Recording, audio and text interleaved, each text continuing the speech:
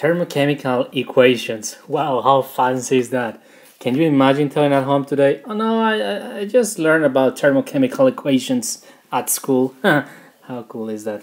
All right, so, but it's a very, very fancy uh, name, but in reality, what a thermochemical equation is, is just an expression to relate the change in energy of a chemical reaction. And you can also say if the reaction is endo or exothermic. So before we go into more detail, we need to clarify a couple of basic concepts. And these two terms are entropy and enthalpy. Entropy is uh, found in books, textbooks, as the randomness of a system.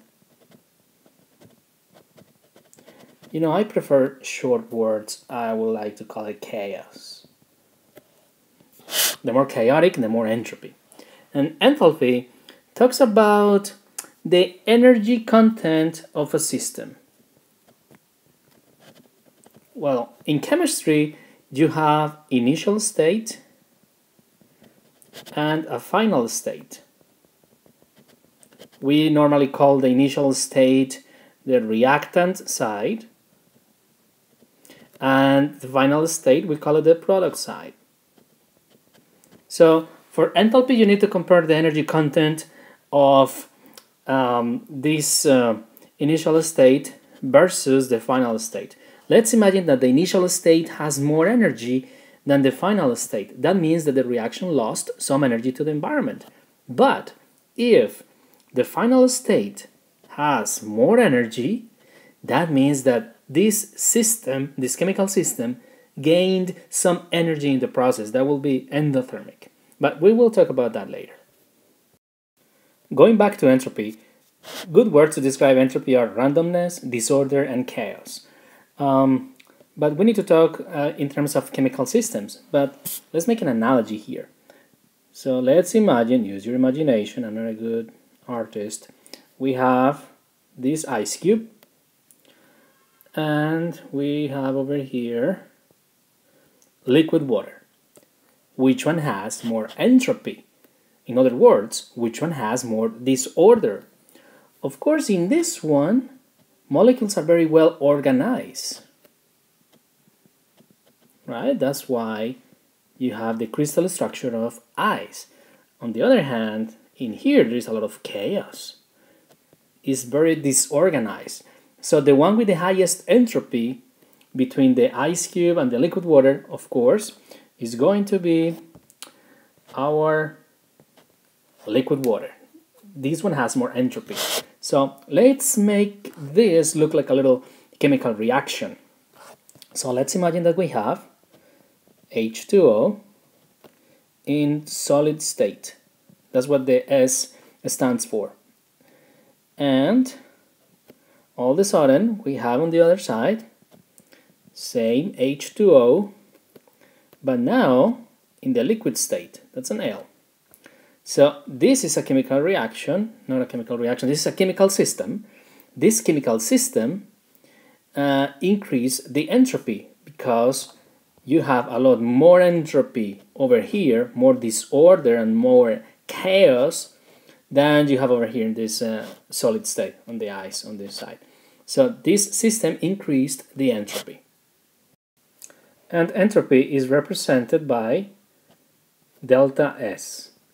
Okay, so what happens if a system has an increase on the entropy? That means that it's becoming more disorganized.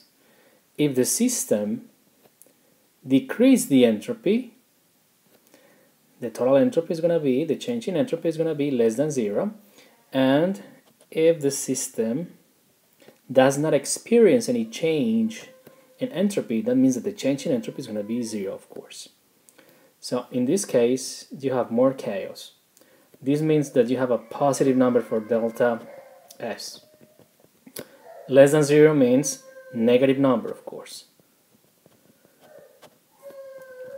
So a positive number, positive number, a positive number for the delta S, of course, is going to represent an increase in the entropy. Enthalpy now is uh, seen as the energy contents of a system. So if you're uh, reading about the change in enthalpy, you are reading about the change in the energy content of a particular system. In chemical reactions, what we see normally is, remember, we see an initial state. This will be our reactants. Then we see a process that takes place, place and this is the final state. The altitude in here is going to represent the energy content.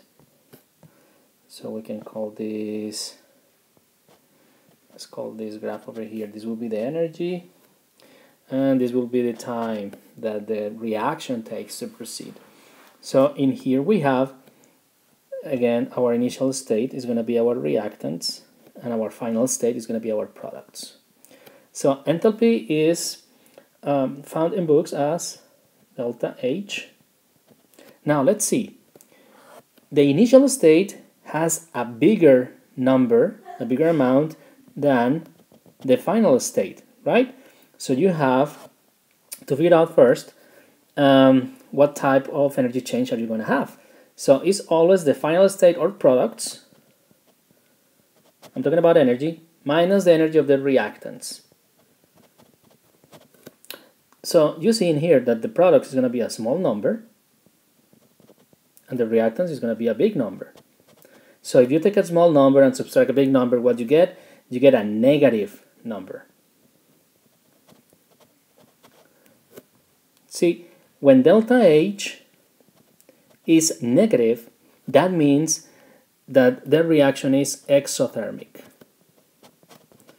Hold on, what do you mean by exothermic? Well, it is exothermic because, as you can see, at the beginning you had this much energy. This was the energy that you had at the beginning.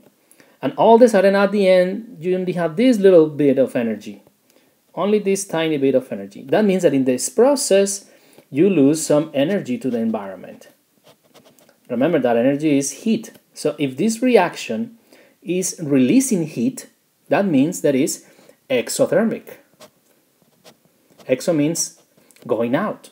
So this reaction is releasing heat, therefore is exothermic. Just because the final state, the product, has less energy than it had at the beginning. Now let's see what happens when the opposite occurs. So let's say that you start with this amount of energy over here. This is your initial state, your reactants, right? Initial state. And after the chemical process takes place, you end up with this energy state at the end. This is your product, the final state. Again, you subtract the products minus the reactants in terms of energy. That's going to give you the enthalpy.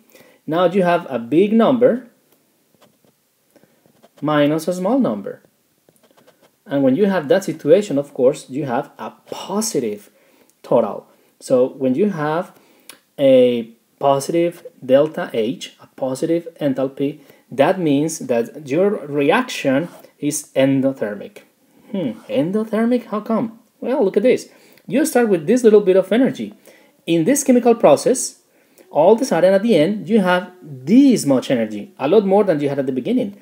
The only explanation is that in this chemical process, you gain energy.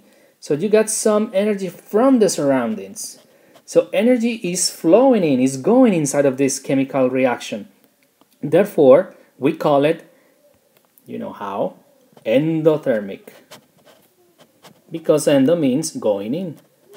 So when you have a positive delta H, that means that you are in front of an endothermic reaction. I hope you understand the terms endo and exothermic and also how to read these graphics over here. Let's analyze this chemical reaction in terms of, in terms of entropy and enthalpy. So let's look at the entropy, the randomness, the chaos. So let's look at the initial state our initial state has two moles of gas over here and one mole of gas over here. So we have three gas molecules on the left. Ah, look at the right. You don't have gases. you have liquid. That means that the system is less random. Remember, random is the entropy, so the entropy decreased because you went from high entropy to low entropy. So the entropy went down. But in here we're analyzing also the enthalpy. In here, I almost forgot to write down, this is a negative, it's a negative sign right here. This is a negative 571. Let's make it very negative. All right, so what does that mean, having a negative enthalpy? Well, if we remember the, our previous graph, we know that a negative enthalpy means that you have less energy at the end than what you have at the beginning, which means that this reaction did lose some energy in the process. So it gave off, gave away, released some heat, some energy. So a negative enthalpy is if this enthalpy is negative, which in this case is negative 571, this reaction is going to be, of course, exothermic. So just by looking at this number, delta H, you can tell if a reaction is endo or exothermic. Negative delta H, exothermic, because you are releasing heat, because you have a smaller energy state at the end than what you have at the beginning.